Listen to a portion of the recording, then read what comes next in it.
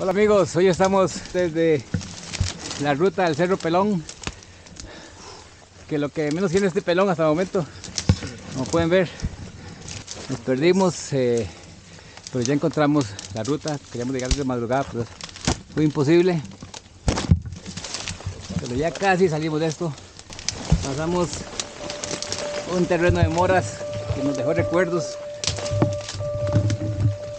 que tengan una idea esto es mucho mejor de lo que hemos pasado en cuanto a tupido de la selva